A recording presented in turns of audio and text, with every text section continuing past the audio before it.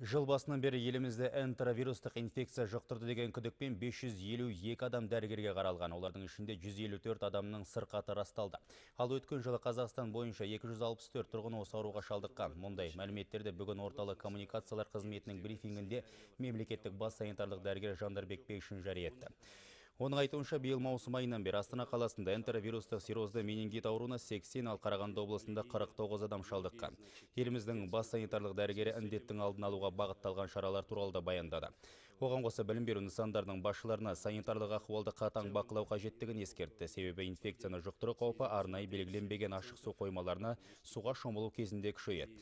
Жандарбек Бекшиннің айтуынша ел аумағындағы санитарлық эпидемиологиялық ахуал тұрақты. жылы бізде елімізде аса қауіпті аурулар тіркелген жоқ. Оның ішінде ә, айтқым келеді ә, оба деген күйдіргі аурулары тырысқақ аурулары көптеген осындай аса қауіпті аурулар тіркелген жоқ. Осы жеті айдың арасында 28 ауру, ауру инфекциялық аурулардың түрі төмендеп жатыр.